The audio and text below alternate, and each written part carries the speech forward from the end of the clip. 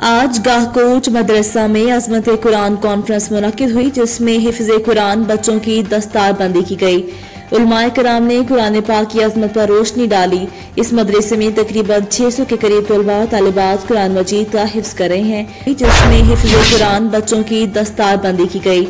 उलमाए कराम ने कुरान पाक की अजमत पर रोशनी डाली। इस मदरसे में तकरीबन 600 के करीब तलबा तालिबात कुरान मजीद का हिफ्ज कर रहे हैं।